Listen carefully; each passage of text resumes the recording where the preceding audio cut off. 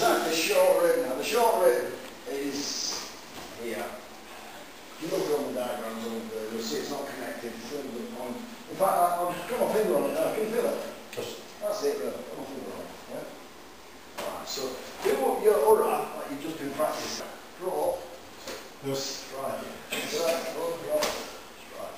Yeah? Now, if you get this wrong, it's not too pleasant because he hit his hip and you're not doing fist any good. So here, that's his hip, ouch. That's his floating rib, and he'll be saying, ouch, yeah?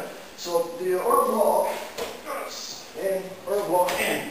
Nice thing is that's loaded, yeah? So once you get the angle of the first two, you've got a muscle called your latimus dorsi, and it connects to your hip, alright? Now, squeeze up if you can, Simon. There's the lat. The punch needs to be just inside the lat. If I can find it, I'll get on the tip, which is there.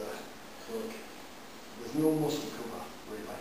If I come back an inch, I'm almost, aren't I? You can feel that.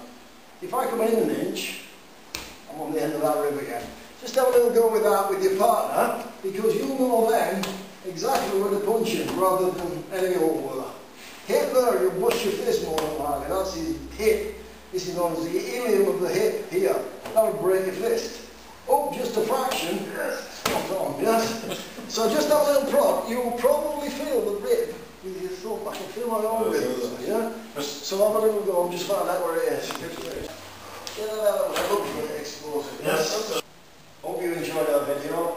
There's more information on our website www.goju.co.uk